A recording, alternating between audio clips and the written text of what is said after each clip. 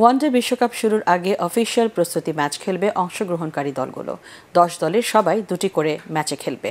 প্রস্তুতি ম্যাচে বাংলাদেশের প্রতিপক্ষ হল শ্রীলঙ্কা ও বর্তমান বিশ্ব চ্যাম্পিয়ন ইংল্যান্ড। আরও জানাচ্ছেন পরাগ আর মান এক মাসের কিছুটা বেশি সময় বাকি আইসিসি ওয়ানডে বিশ্বকাপ শুরু হতে।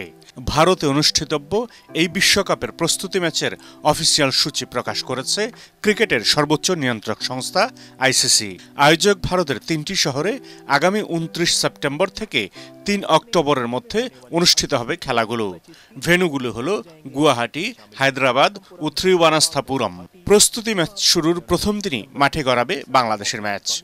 উনত্রিশ সেপ্টেম্বর গুয়াহাটির বর্ষাপাড়া ক্রিকেট স্টেডিয়ামে শ্রীলঙ্কার মুখোমুখি হবে সাকিব আল হাসানের দল।